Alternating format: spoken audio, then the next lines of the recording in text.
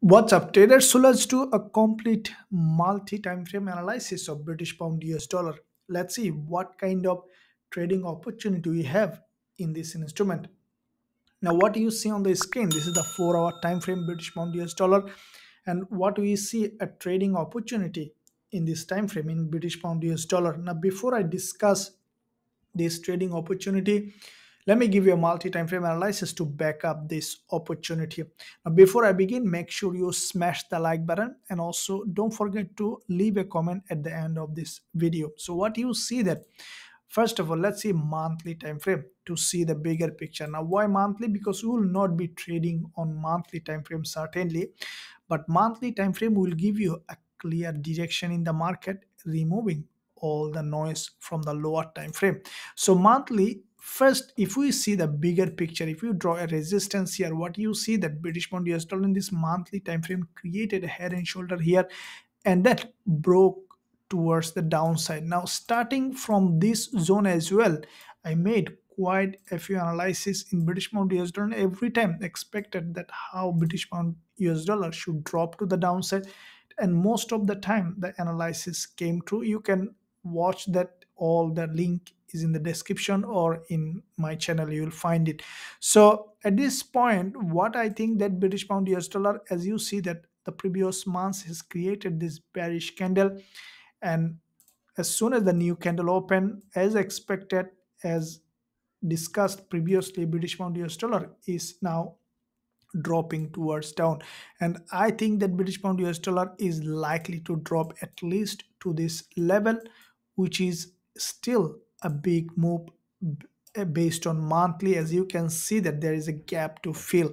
So let's see on the daily weekly time frame. Now weekly the previous week as expected every week according to my weekly forex forecast if you have seen that that what did i say that british pound us dollar after this doji candle is likely to drop and the market has done exactly as it is. You can watch that. Also i'll link this below. Now this week is almost over and what i think that british pound us dollar this weekly candle is likely to close around this zone and we might see little drop today because this is the last day of trading week. Now let's see on the lower time frame next how we can trade. Now daily as you see that uh, in my previous analysis that's what i expected. What did i mention? The daily time frame british pound us dollar broke above tested this 20 period moving average and we see that there has been a bearish engulfer has been created.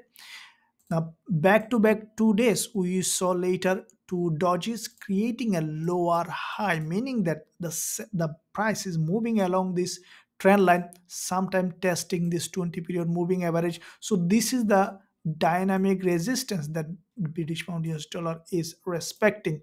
And what what is likely to happen is that if you see the four hour time frame now we can see how we can trade. Now you can see on the four hour time frame how the market structure was formed. You see there has been a strong bearish candle.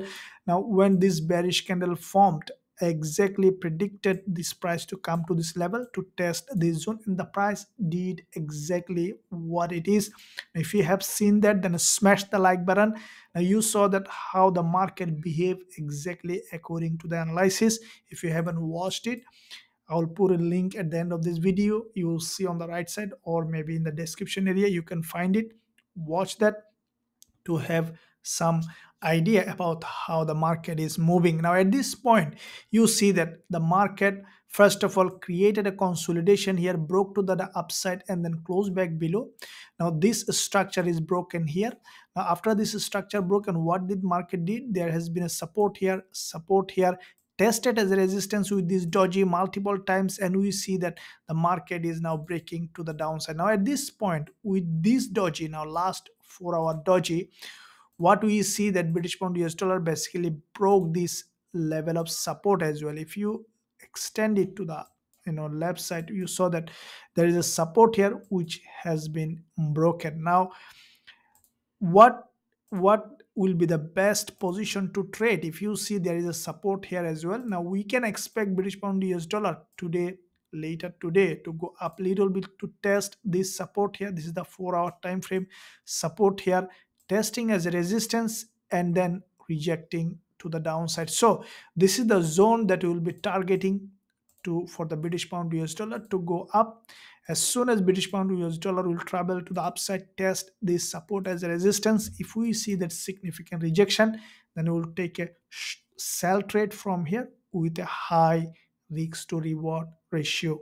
Now if you find value in this analysis then smash the like button and also don't forget to drop a comment below. Thank you for watching. See you soon in my next analysis